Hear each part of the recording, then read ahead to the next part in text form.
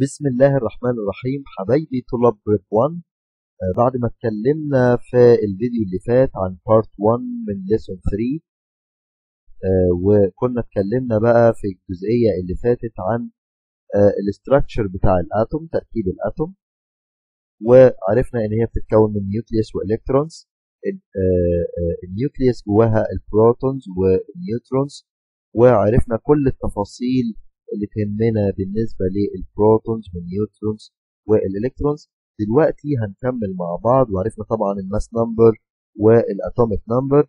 دلوقتي هنكمل مع بعض آه، تكملة ال lesson بتاعنا وهنعرف the movement of electrons around the nucleus. وعلشان الفكرة تبقى بسيطة معانا إن شاء الله هنشوف مع بعض الفيديو ده.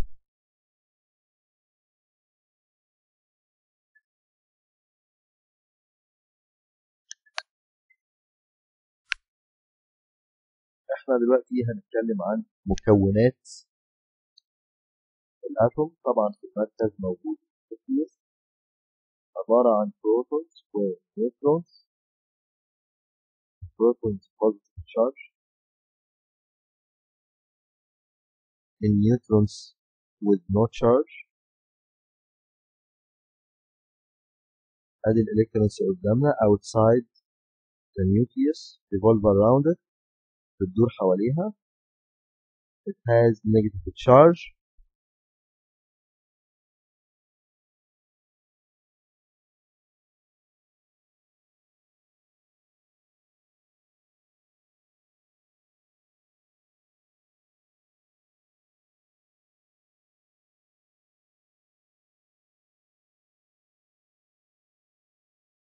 طبعا ال electrons بتدور بسرعة عالية حوالين ال nucleus فهل هي ممكن تسيب ال nucleus كده وما تدورش حواليها وتبتعد عنها؟ طبعا ده ما ينفعش إن هو يحصل بسبب ال attraction force اللي موجودة ما بين ال positive protons وال negative electrons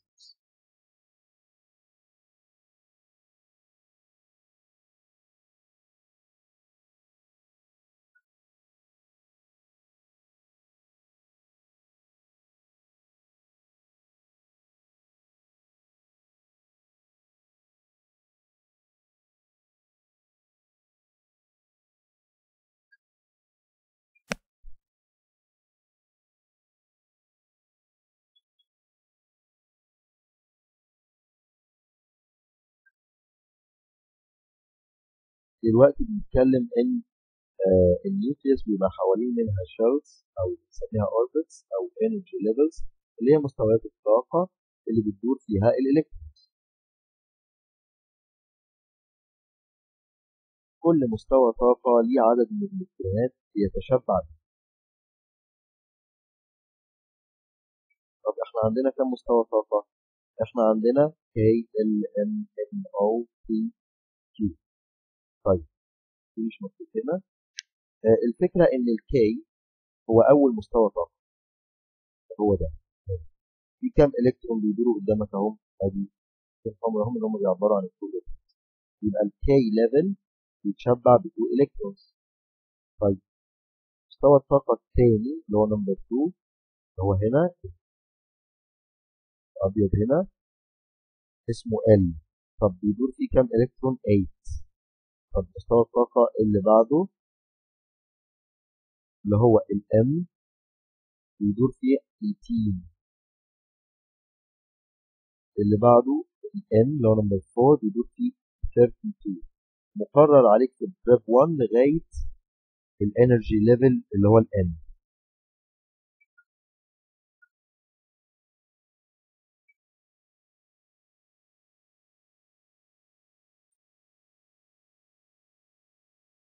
طيب هنقف هنا وبنقول the movement of electrons around the nucleus حركة الإلكترونات حوالين ال nucleus number one electrons revolve around the nucleus at very high speed بسرعة عالية جدا. هنا number of shells في عدد من المدارات اللي هي ال orbits اللي إحنا بنقول عليها ال energy levels وال electrons during movement الإلكترونات أثناء الحركة seem to be as a cloud around the nucleus. كأنها الإلكترونات في حركتها كأنها عاملة سحابة حوالين ال nucleus. بعد كده ال electrons orbit around the nucleus. يعني الالكترونات بتدور حوالين ال nucleus but don't fall in it ما بتقعش بداخلها ليه؟ because they orbit with high speed. And escape from falling. يعني هي بتدور بسرعة عالية تهرب من هي تسقط جوه ال nucleus طيب ال energy levels دي بقى يا مستر اللي إحنا اتكلمنا عنها ووضحناها في الفيديو.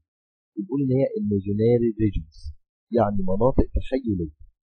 يعني هي مش موجودة كده خط أو طريق وماشية فيه الإلكترونات قدام العلماء لأ هم حركة الإلكترونات نفسها فتبعوها وقال لك آه يبقى هنا الطريق اللي ماشي فيه الإلكترون دوت هيبقى energy level. فبنقول إن هي imaginary regions. أول ما تشوف تعريف في imaginary regions تعرف إن ديت ال energy levels. بنقول إن هي places أو orbits مدارات around the nucleus in which the electrons moves اللي فيها ال electrons بتتحرك. آدي ال nucleus في النص أهو قدامك في الصورة. أول energy level ال K L M N O P Q كل energy level ليه الرقم بتاعه. زي ما إحنا شايفين كده. يبقى ال symbol بتاع ال level اهو قدامك وال number بتاعه قدامك. طيب. في تعريف كمان لل energy levels بنقول إن هي path of electrons around the nucleus. هي طريق ال electrons حوالين ال nucleus وبنقول إن each energy level has a certain amount of energy. كل مستوى طاقة ليه كمية معينة مخصوصة ليه من الطاقة that increase by increasing the distance from the nucleus. يعني كل ما مستوى الطاقة يكون بعيد عن ال nucleus يكون الطاقة اللي عنده أكتر. يعني أكتر واحد عنده طاقة هو ال Q لأنه أبعد واحد عن ال nucleus وأقل واحد عنده طاقة هو ال K لأنه أقربهم لل nucleus. فبنقول this means that the first level K has the least energy while the Q is the highest. بعد كده هنتكلم عن إن في إمكانية إن الإلكترونز تتنقل من energy level وتروح لenergy level تاني. طب إزاي ده بيحصل؟ بنقول the energy of electron depends on the energy of level which revolves in. يعني طاقة الإلكترون بتعتمد على مستوى الطاقة اللي هو فيه. يعني لو كان الإلكترون بيدور في مستوى الطاقة ال K يبقى بالتالي الطاقة بتاعة الإلكترون محدودة مش كتير لكن لو كان في ال يبقى الإلكترون ده عنده طاقة أكبر لو كان في ال M أكبر وهكذا. بعد كده لما يكون الإلكترون دوت في حالة اكتساب للطاقة when the electron gains energy الطاقة دي بنسميها هنا quantum will transfer from its original level to higher one. لما يكتسب طاقة هيسيب مستوى الطاقة الأساسي بتاعه ويروح لمستوى طاقة جديد كأن جاله كده إيه عقد عمل أو احتراف أو عزل من شقة لشقة راح هنا كانت شقة صغيرة فراح هنا شقة أكبر.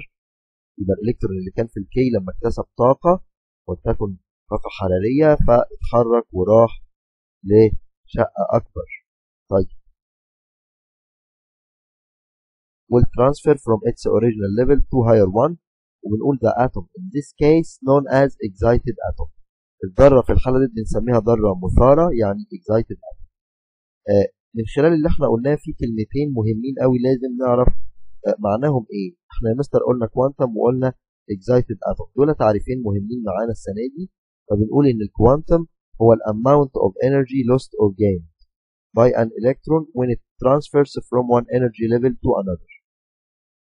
تقدر تغنيها ببساطة وتقول amount of energy lost or gained طيب ده المفتاح بتاع التعريف بتاعنا طيب نيجي للاكزايتد اتوم الذرة المثارة تعريفها بنقول إيه atom that gains a quantum atoms that gain a quantum يعني هي ذرة اكتسبت كم من الطاقة طيب بعد كده what happened when the electron gains a quantum of energy لو الإلكترون اكتسب كمية من الطاقة إيه اللي يحصل له؟ يا مستر ده هنا ال atom هتبقى excited atom وهيروح لل energy level أعلى بالظبط هنقول له كده the atom becomes excited atom and the electrons will transfer to higher energy level وال electrons هتنتقل لمستوى طاقة أعلى طيب بعد ما الطاقة دي تخلص إيه اللي يحصل لل electrons؟ يرجع لل original energy level تاني يرجع لأصله ولل energy level اللي كان فيه من الأساس يبقى the electron loses a quantum of energy إيه اللي هيحصل؟ The atom returns to the original state. الأتوم بترجع للحالة الطبيعية بتاعتها and electron to original energy level. طيب هنا أهو شكل قدامك. هنا ده at ground state اللي هي يعني النورمال state الأتوم في الحالة العادية بتاعتها. والأتوم uh, uh, has no energy ما فيش فيها طاقة. ما اكتسبتش طاقة يعني. لما اكتسبت طاقة بدأ بقى الإلكترون بدل ما كان هنا في ال energy level ده خرج وراح ل energy level أكبر منه. وبقت ال atom بنقول عليها excited atom طيب بعد كده هنتنقل لحاجة مهمة جدا جدا هتكمل معاك في السنين اللي جاية اللي هي electronic distribution أو electronic configuration اللي هو التوزيع الإلكتروني. إيه قصة التوزيع الإلكتروني؟ علشان نفهمها ببساطة كده لازم نعرف كل مستوى طاقة بيتشبع بكام إلكترون. فبنقول we can calculate the number of electrons in each energy level by the relation 2n power 2 العلماء حددوا عدد ال electrons اللي بتبقى موجودة في كل energy level أو اللي يقدر يستحملها ويسعها ال energy level من خلال القانون ده 2n power 2 طيب ونحسبها إزاي؟ معنى 2n power 2 يعني 2 by n power 2 يعني 2 ديت هتبقى by. يعني هنا في حالة multiply اللي هي حالة ضرب ده.